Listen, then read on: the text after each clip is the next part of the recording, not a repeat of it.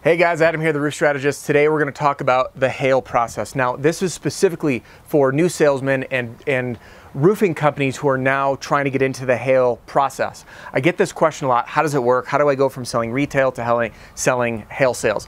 And more importantly, if you're a new salesman, maybe you didn't get all the training you need, you don't really understand the process start to finish, so this video is for you.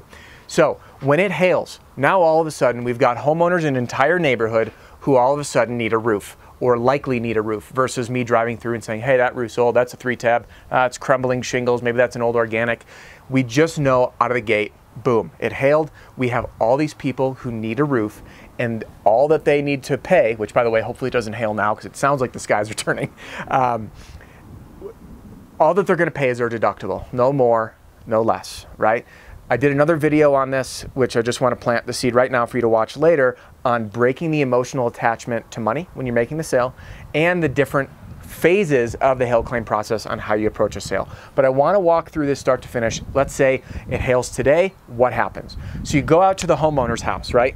And the first thing that you need to do is conduct a free inspection, help them identify whether or not there's damage. So my pitch is I knock on the door, I introduce myself, hey, I'm here. I'm sure you noticed the storm the other day.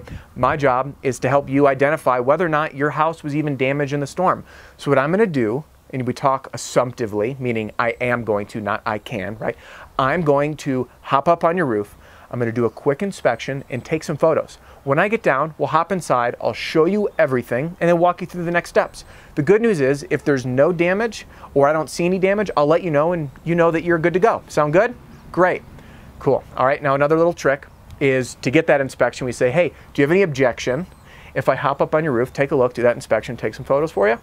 Now you'll notice I phrased it, do you have any objection if? Because if I asked you a yes or no question, your inclination, if you don't know me, is to say no. But when I say, do you have any objection? And you say no, you're agreeing to me getting on the roof. It's a great way to soften the dialogue with homeowners and to help them get off their guard. So when they're more inclined to say no, they're actually agreeing with you. And this is a great way to get in the door without being pushy. So try that out. So you go up there. Step one is to identify whether or not there's damage.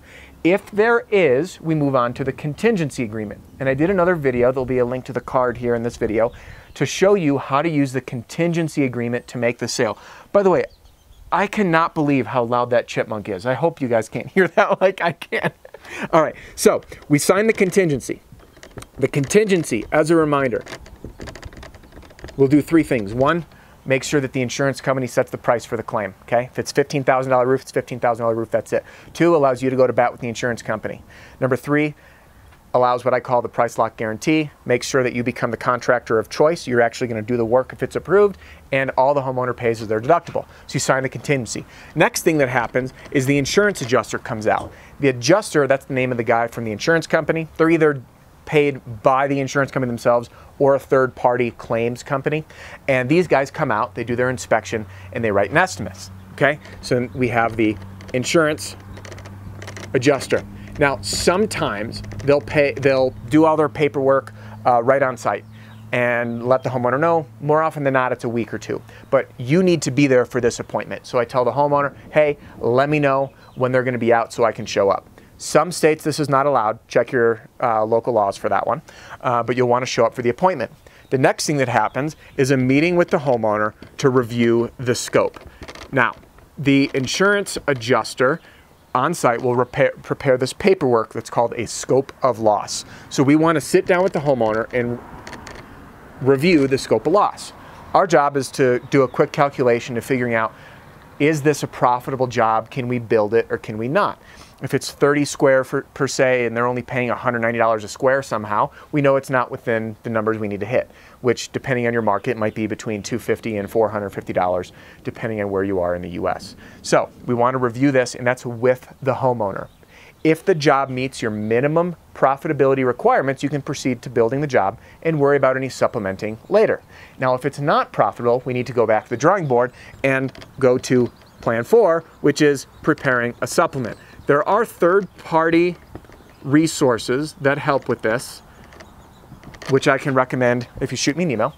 And these folks, whether it's you or someone else, just submits paperwork saying, hey, you missed this piece of gutter or you didn't provide enough um, shingle allowance or there's no ice and water shield, whatever it is, you prepare that supplement to make sure that the proper assessment is complete for the job.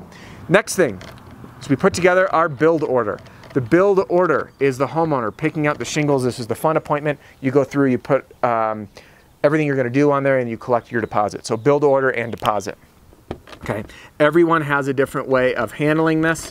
I personally like to collect 50% or the actual cash value settlement, whichever is greater. Okay, um, excuse me, whichever one doesn't leave the homeowner coming out of pocket.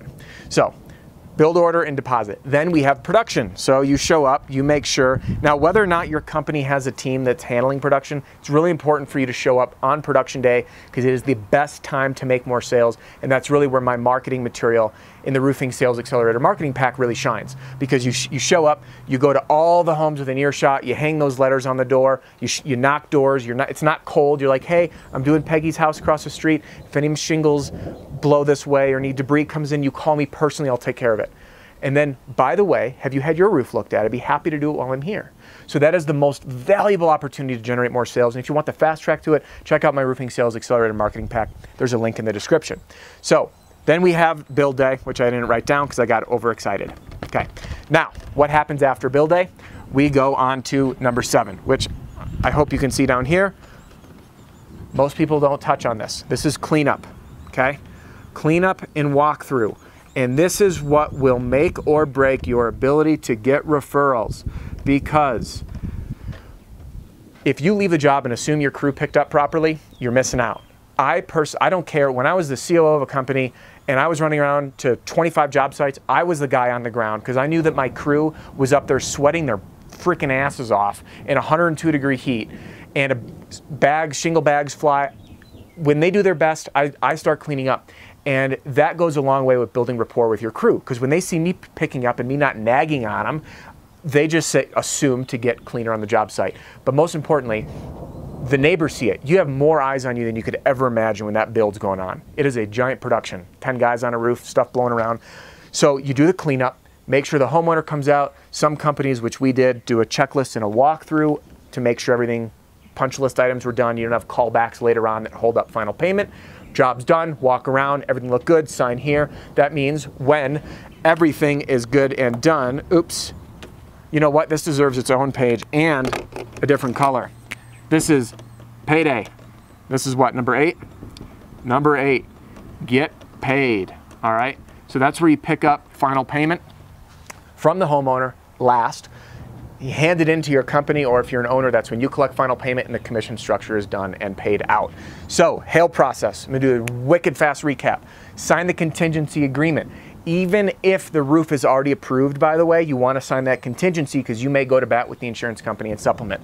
Next thing, meet with the adjuster. If this was already done, you get to skip this phase. Review the scope. You're going to do this no matter what because we're not doing bids, remember? Then we prepare a supplement if needed, either in house or with another party.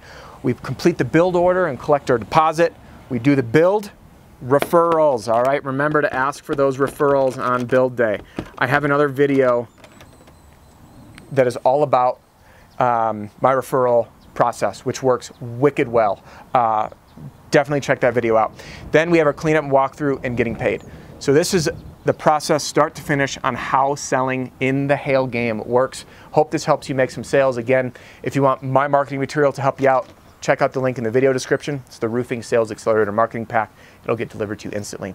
I also have an ebook, The Three Tricks to Get to the Kitchen Table. Shows you three really cool ways to help on those inspection days to get off the roof and actually get invited inside. Because when you are at the kitchen table, your chance of closing that sale goes up tenfold. So that's all I got for you. Click like, drop those comments, subscribe. We'll see you on the next one.